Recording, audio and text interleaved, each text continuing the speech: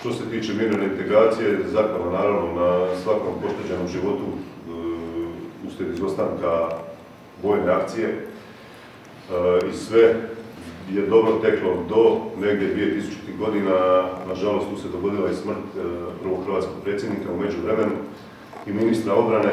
Nakon toga kola kreću izgodo, znači sve ovo o čem sam pričao. Odjednom ostajemo bez kralježnice, odjednom ostajemo bez stava i priča s mirnom integracijom ide u jednom krivom smjeru gdje zapravo možda kao najveći e, negativan produkt e, cijelog tog procesa su i dan danas podijeljene škole, djeca koja uče sasvim različite stvari, koji, kod kojih se razvija sasvim e, različit odnos prema matičnoj državi, prema Republici Hrvatskoj.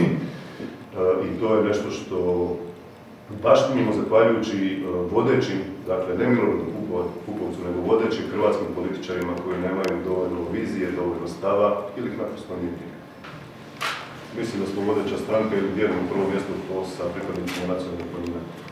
Svjedočili ste mom odlasku i na, kao prvog gradonačelnika, i na pravoslavni uskrs, i podršci u radu manjinskih udruga.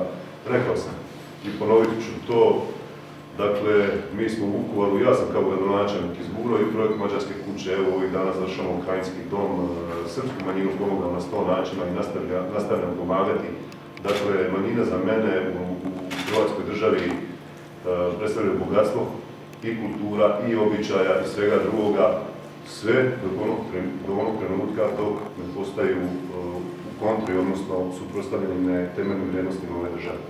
Dakle, SDSS je to bez dvojbe, a srpska manjina sa SDSS-om nema izravno veze, za mene tu ne postoji znak jednakosti.